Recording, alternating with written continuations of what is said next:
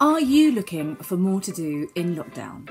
Have you been asking yourself, how can I raise money for charity and have some fun? Well, my friends, Form Charity have got just the thing. It's called the 1557 Challenge.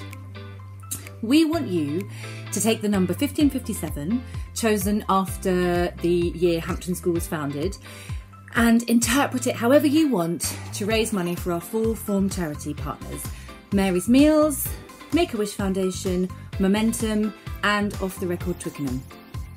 You could build a Lego tower using 1,557 blocks, or uh, see how long it takes you and your football team to do 1,557 keepy uppies. You could do 15 sun salutations in 57 minutes. You could see how far you could run in uh, 15 minutes and 57 seconds. Uh, you could dance, you could sing, you could uh, perform a piece uh, of music to your granny on a Zoom call. The possibilities are endless. Uh, no food wastage though, so if you're planning on eating 1,557 Skittles, think again.